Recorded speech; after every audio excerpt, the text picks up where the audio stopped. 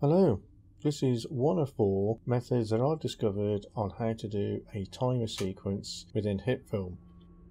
If you want to know all the four versions of timers that I found, look at timer overview tutorial I did just before.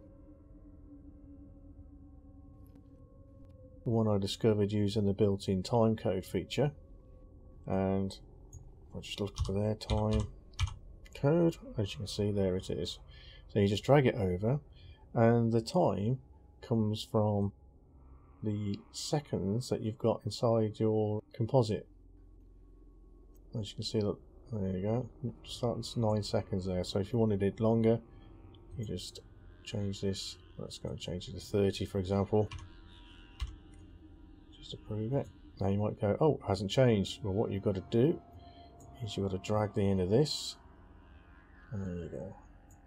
Now it doesn't you can't just say, oh, you know, I want 10 to 15, so I'm just going to show you what happens if you go 10 to 15.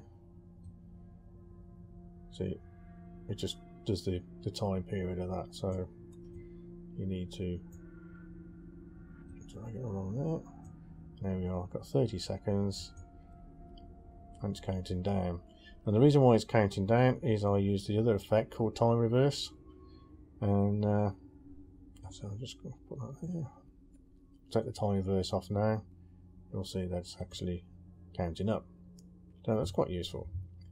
Um, the other little features you can do with this is you can, go, you can give it colours. I'm trying to, oh yes, inside time code. So there you go, text and background. So that's where I've done the blue here. If you didn't like uh, any background at all, just take that off like that. Because it wants a little bit bright down. There you go. Um, you can change the size of it. That's the maximum size you've got. Um, the scale scale here. That's the.